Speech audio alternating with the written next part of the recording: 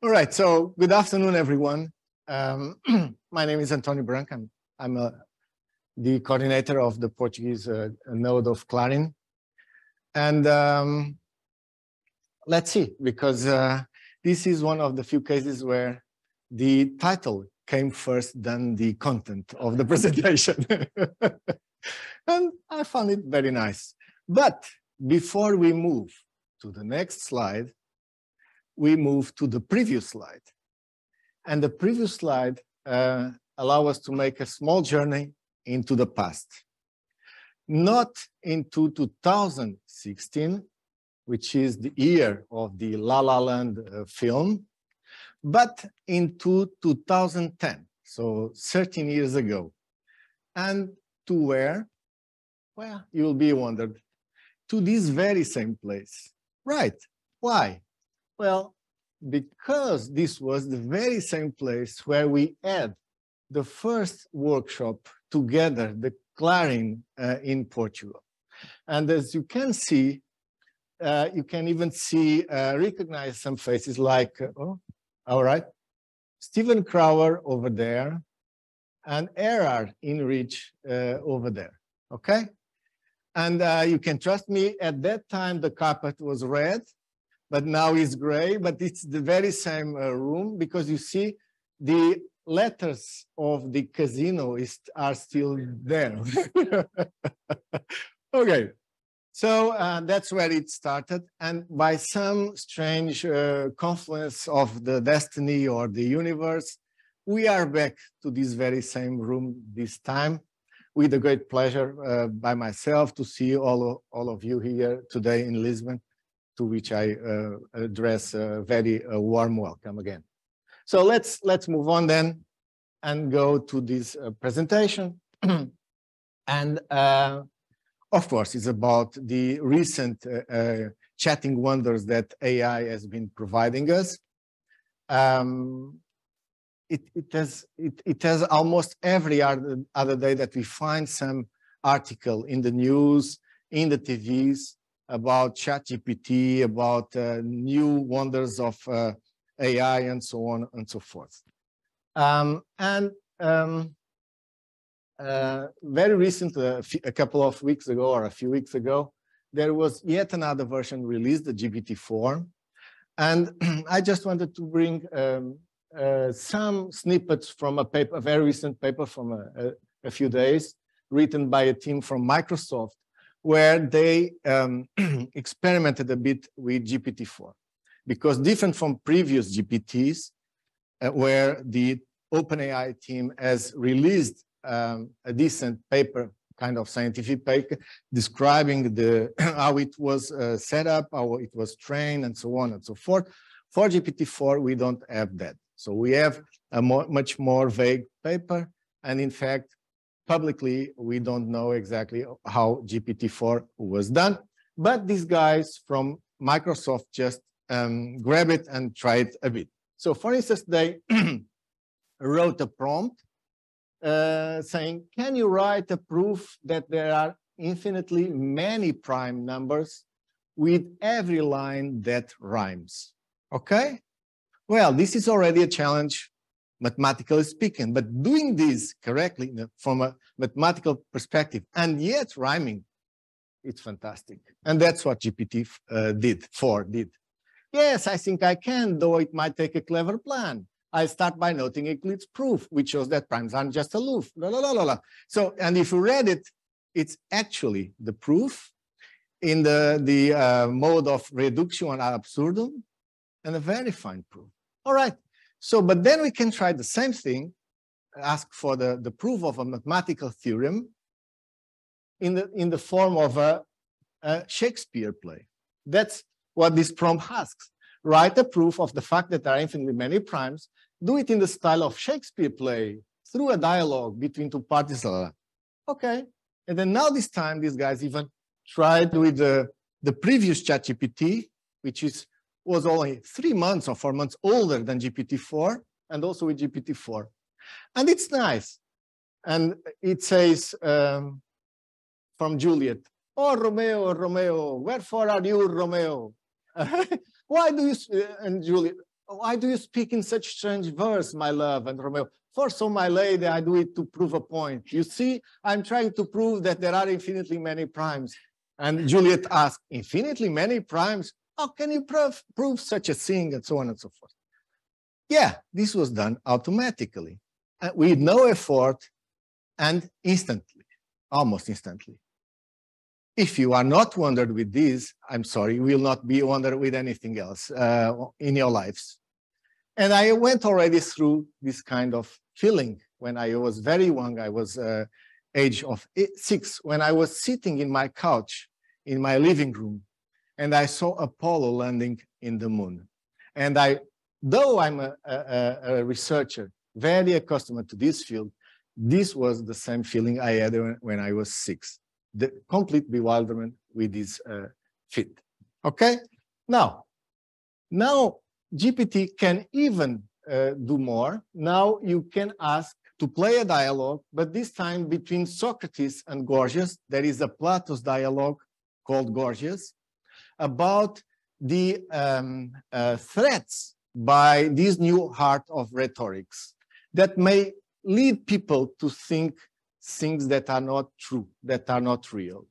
And it's the kind of fear that people have these days with respect to large language models, because this may be used for uh, misleading and so on and so forth.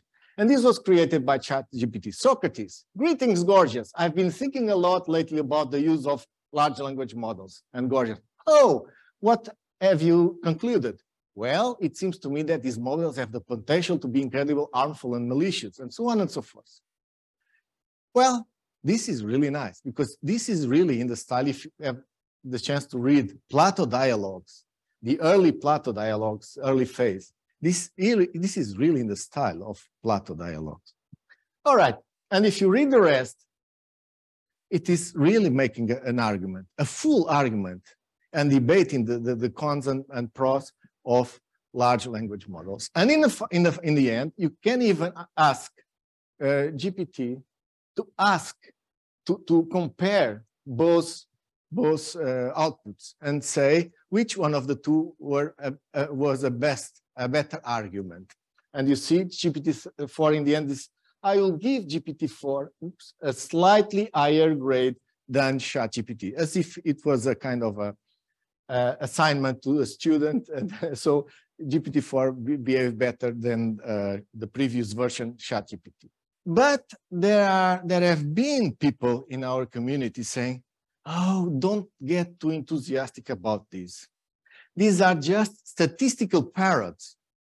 Why so? Well, because this is based on neural uh, networks, artificial neural networks, that are trained on a very simple task as simple as this, to predict the next word. Yeah, what makes the difference is the quantity, the huge volume of data used. And with such a simple task for training the network, with such a huge volumes of data, that is enough with some tweaking afterwards to have a system that produce such uh, wonders, okay? So then people criticizing say, oh, this is just statical parrots because just a matter of statical patterns we learn in the data. And then when the systems uh, pr uh, produce a word, and it just has to produce the most probable next one and so on. So ah, don't get too enthusiastic. That is nothing essential. Really, this is not grounded in any true experience. This is not grounded in anything besides just adding a symbol after another symbol. Well, in fact, there have been progress in grounding in uh, visual terms, right? For instance, already in 2021, we had papers where it was possible to generate images, generate images from short descriptions, like a tapir made of accordion, a tapir with the texture of an accordion. And now these uh, images were not in a database and were not recovered from a database from the description. They were generated from fresh from the description. Well, nice, yeah.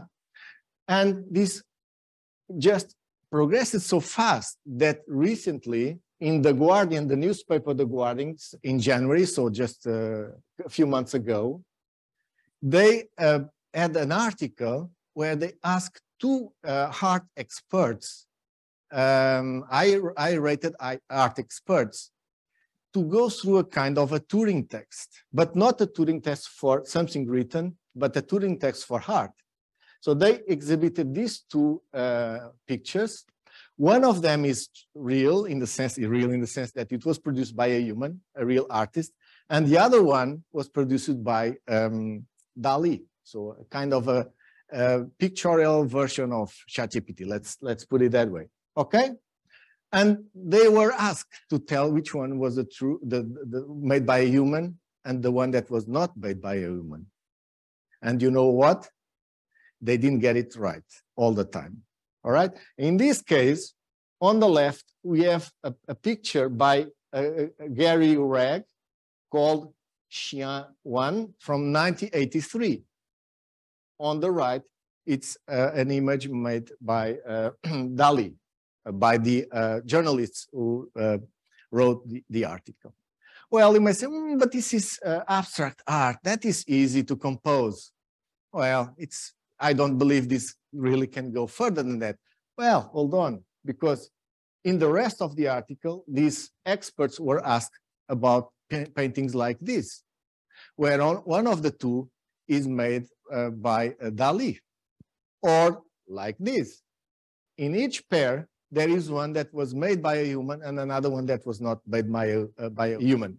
Um, so you can go to the, is still online, still online. That it's really because the, these art experts not only uh, decide which, but they explain the reasons why they made the decision. And they halfway, half, half, they sometimes get it right, sometimes get it wrong. So this is really, really amazing. So statistical parrots, not grounded in any other experience? Well, let's think again, okay? So um, you may say, ah, but these are images that are artistic. They are not real images from real uh, stuff, like the face of a person. Oh, do you want to see an image of a face of a person generated by DALL-E? For instance, take this prompt my Indian dad accidentally taking a selfie with the front camera, squinting because the camera flash is so bright in his face. This is uh, uh, this was published in 2022, still in the DALL-E site, and the picture produced is this one. All right, still not convinced. Oh, then I cannot convince you that this is really fantastic. Okay, so um, science and technology of language is done. Fertig, as the Germans say. Really? Maybe. Okay, so uh, reasons to, to enjoy, to celebrate. Yeah, yeah. But then planning becomes less relevant, all right? Is it? Well, not so fast, not so fast. That's the point that I want to make in the next, next few minutes, right? And for this, I'm inviting you to a little thought experiment, okay? Let's go back, or let's go to physics, okay? And let's go to the 13th century, to a Spanish king, who called Alf, uh, Alphonse the, uh, the Third, I think. And uh, he uh, decided to collect uh, all the astronomical tables and from that, from that point onwards to keep collecting uh, astrono astrono astronomical uh, data. Okay, observations of the relative position between the planets among themselves and with respect to the so-called fixed stars. Okay, so with this technology, at that time, it will be very well possible then to achieve the ultimate goal that these tables were made for to predict tomorrow where a given planet will be in the sky. But luckily, in the 13th century, they had not this AI technology. Why? Because if they had, maybe we will never, ever come to understand how the planets move and how to understand what are the physics law. Because we were forced to do that to finally achieve reliable predictions about the position of the planets. In fact, ultimately, we arrive, we, mankind, uh, we arrive at doing predictions on the basis or supported by these tables, uh, the data in these tables, but because we uh, abstracted them into laws, okay? Like the gravity law that you see uh, expressed there in natural language, in English, or then in a mathematical formula. So luckily, there was not deep learning and AI in the 13th century. Otherwise, maybe we'll never get to understand the physical law, law sustaining or uh, underlying the movements of the planets uh, in, in, the, in the skies. Landing on the moon didn't bring us more close to understand the origin of the universe than we were, had that understanding before the landing of the moon. So the same way, having these chatting uh, uh, machines don't bring us more close to understand language, how it works, how it functions, and so on, than we understood before ChatGPT appears uh, uh, into play. Okay? So there is still the entire work to do to move on and deepen our research on language because these uh, uh, uh AI systems don't bring us any uh, clarification at all about language really functions. Okay? So in this case, what we need is to proceed, not ignoring AI, but really understanding that, for instance, we can do our research and we can really help to uh, improve uh, these AI systems. For, I'll give one example of this, a very recent one. So uh, a few days ago, um, this uh, data set mm-hmm. was published. Is a, a data set containing 15,000 high quality human generated prompt response pairs, specially designed for instruction tuning large language models. Why is this so important? Because ChatGPT was trained on a set like this, but this set where ChatGPT was trained is private, is not available to anyone else. And these guys released this data set, which is free of charge, with the most permissive open license. Okay? And what does this data set contains? Well, this data set contains what typically we we, this community, know better to do, and we are experts on that. So um, it's a data set containing stuff produced by annotators for which it was necessary to write a, a number of guidelines. This is just a, a, a very uh, short uh, passage, okay, about creative writing, closed question answering, open question answering, summarization, information extraction, classification, and brainstorming. So asking ChatGPT to brainstorm about something. These were produced by human annotators uh, uh under guidelines that were written. And this is where Clarin and the community around Clarin is most expert about.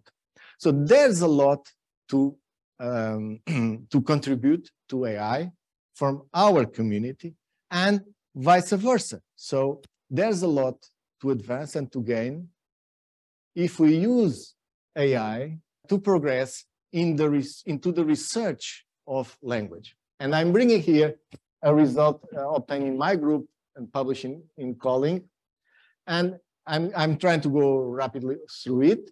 So basically, there are three lexical, main lexical theories in competition, okay? About these lexical theories are theories about how the meaning of a word should be represented. Of course, they are in competition, and we would like to know if there is one that is better than the others. And it, it's actually the right lexical theory, okay? So one of these theories is inference-based, where the meaning of a word is represented as a node in a graph whose edges are categorically encoding different types of inference relations, hypernym, meronym, and so on and so forth. So a lexic is an inference graph, and we have an example of such a data set. That's WordNet, where almost everyone here in the room have, have has, has worked with or has, has worked for. The other family is the feature-based, okay? Where the, the representation or the meaning of a word is the key in a hash table where the respective value is a set of other lexical units denoting prototypical characteristics that are associated uh, in our mind with that previous word. In this case, the lexic is a feature map, and we have an example of such a data set. That's SWOW, small, it's the acronym of Small World of Words. Then the third family is the co-occurrence based. Uh, they were very popular in the past few years. And the meaning of word is represented as a vector, okay? And this vector somehow reflects the co-occurrence of that word uh, uh, with other words in, in some collection of text. Here, the lexing is a vector space, and you have lots of uh, examples like word2vec, GloVe, fastText of such uh, uh, data sets we, which we know as word embeddings. So is there a way or to collect some evidence that one of these uh, theories is better to represent the meaning of the word than the other? Well, we did this experiment with the help of artificial intelligence. So first, we converted every different data set to the same format. So we converted SWOW to a graph, and then with SWOW in the form of a graph and the WordNet, which is already a graph, we converted into word embeddings. And then all the data sets were in the form of word embeddings. and next, what did we do? we do? We picked the data set collected in 2008 by Mitchell and colleagues about or concerning nine subjects, 60 words that uh, so they saw 60 words 66 times and the, the uh, brain activation the, the brain activation of these nine subjects was recorded okay so the task then was to predict the brain activated when thinking of a word in technical terms was to project a lexical vector a word uh, embedding into a vector that represents the fMRI uh, image. Well, obviously, I'm, I'm skipping a lot, a lot of detail, but the key conclusion is SWOW is, is the better option to do these predictions. And so we collected evidence that it has superior cognitive plausibility with respect to other lexical uh, theories. So this is just an, an example how to use AI to uh, foster research on language that we not, uh, by, by means that we had not uh, before, okay? Sure, amazing reasons to celebrate breathtaking AI advances, but no, science of technology is not done yet, and Clarin is even more important uh, than uh, ever, okay? So this is a, a key message that I want to bring you today in possibly in an entertaining way. Thank you so much. Questions or comments? I come to you because that's the way I, will be in front of the Kidu? Just a small comment. The three presentation, of course, uh, human uh, artifacts, so they are not complete, probably contain some errors.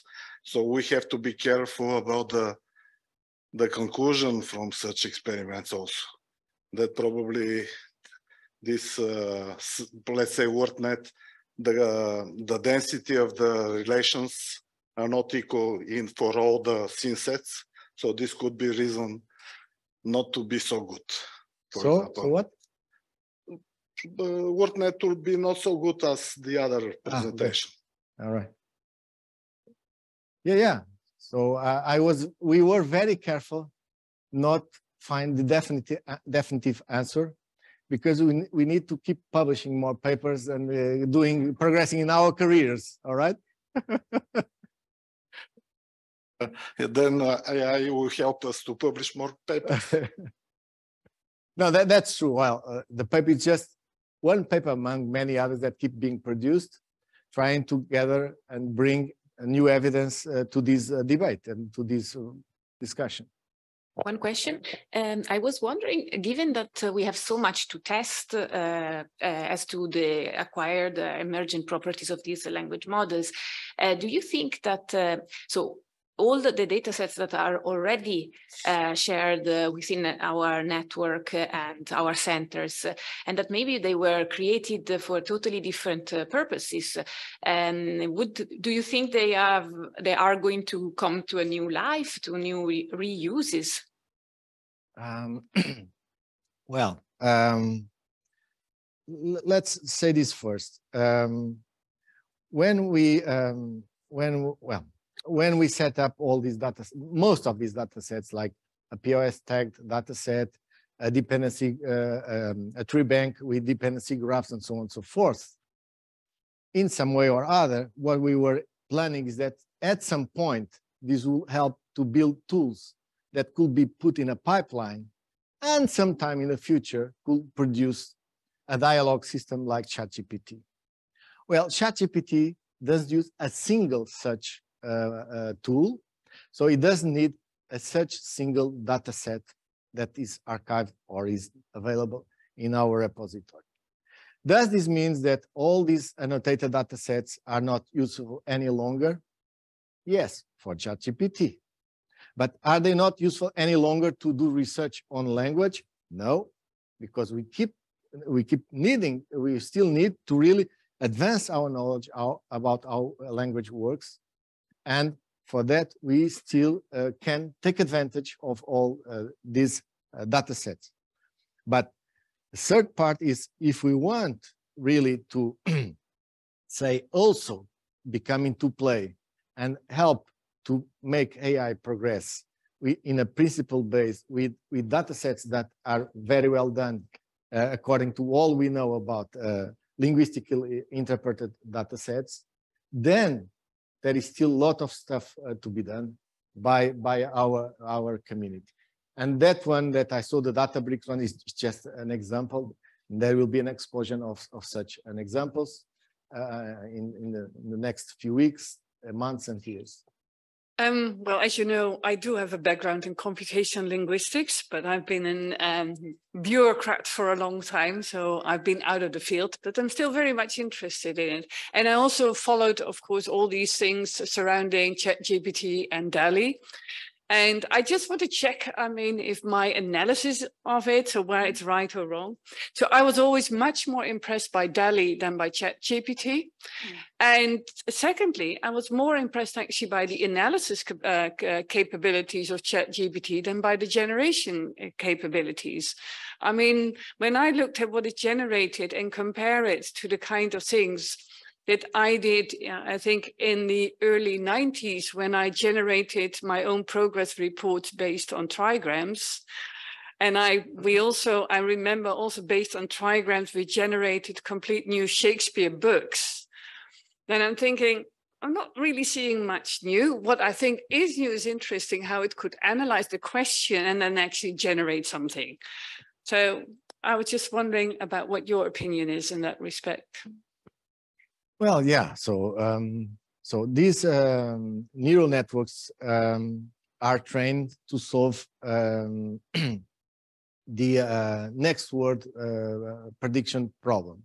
Okay, and this is something that we were able to do or to try to do always uh, 10, 20, 30 years ago with statistical models. And based on some corpora and some countings and frequencies, we could also, uh, if we had, say, the collection of Shakespeare works, then we could uh, produce a new Shakespeare work. Okay, but um, the flexibility and the um, and the fluence of this system has nothing to do with this that those first experiments. For instance, some 15 years ago, one of the assignments I, I, I was giving to my students uh, in, in the course will be okay, just to produce a, a generator of text based on the uh, discourses of this politician. And we had a lot of fun, but the, mm-hmm. the, the, the, result was not fluent Portuguese. It was obvious that mm-hmm. it was not fluent Portuguese. If I, if we were not told that these pieces of text were produced by uh, a machine, We Mhm. will not guess it, uh, uh, I believe. Uh, Could be, could not be, we don't, we don't know. So there is a huge, there is a huge progress. And one thing is to really amass the works of Shakespeare, then try to produce the, a, a new text similar to Shakespeare. Mhm. And another thing is to ask the system, give me the proof that there are infinitely many prime numbers in rhyme. Mhm. Well, Oh, that that was impressive. I, I I- agree, but but still, I think it is important for the system then to understand what it has to do and has to produce. And I thought that was sometimes quite impressive how it actually understands the question, what it needs to do, and then produces it. yeah, well, then this leads us to um, another huge and very interesting question, which is about the understanding. okay? Exactly, because People that's these- not something ChatGPT people, does. people these days are fighting uh, about Yeah. if uh, it understands, it does not understand, it feels or it doesn't feel, it has uh, conscience or not conscience. Well, I'm not a philosopher. I'm not entering that debate. I'm not able to, to really enter it in a meaningful way. Okay. But I'm ready. I'm ready to accept that at some point, quantitative thing becomes, uh, makes a difference in qualitative terms. We see that in our lives, in, in nature. Okay. It seems that, okay, adding just a, a bit more of this, it just this again, but with a little bit more. Mhm. But when we had very, very, very large amounts of the same thing, at some point, its qualitative nature changes. Well, and I will not at this moment be uh, so much surprised if at some point we will realize that uh, these systems could have uh, more um qualities than uh, we will we will be ready to accept uh, a few months ago.